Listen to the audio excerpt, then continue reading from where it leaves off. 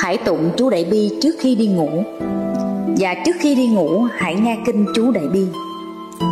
Bởi vì kinh có rõ ghi một đêm năm biến thoát ly hồng trần, 84 vị Phật thần, quá thân 84 tự dần trong kinh.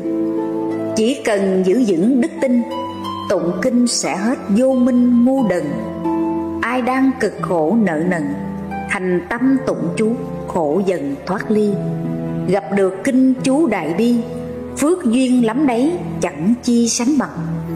Tội nhiều như cát sông hằng, thành tâm trì chú, tội sằng giảm đi.